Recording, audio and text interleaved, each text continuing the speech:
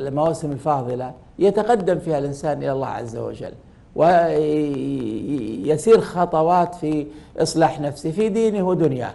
ومن الرشد والعقل أن يك أن يحافظ الإنسان على مكتسباته.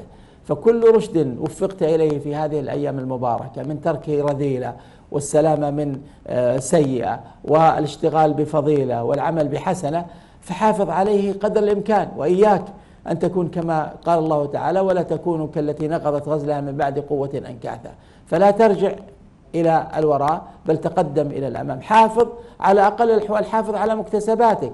فأنت قد تقدمت بترك رذائل تقدمت بالتخفف من سيئات تقدمت بطاعات وإحسان الصلة بالله عز وجل.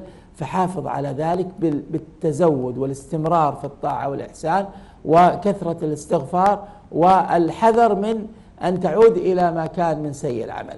ولذلك هذه المواسم حقيقة هي أشبه ما يكون بمواسم آه، تربية وتدريب وإعانة على آه، التحلي بالفضائل والتخلي من الرذائل فمن الرشد والعقل أن لا نعود بعد هذه المواسم المباركة إلى شيء مما سلمنا الله تعالى منه في هذه المواسم أو ربانا بما شرع من العبادات أن نتركه كما قال النبي صلى الله عليه وسلم آه، فيما رواه البخاري من حديث أبي هريرة من لم يدع قول الزور والعمل به فليس لله حاجة في أن يدع طعامه وشرابه. ولذلك نحن دخلنا هذه هذا الموسم وهذه هذه الحقبة الزمنية نربي أنفسنا على ترك قول الزور على ترك العمل به.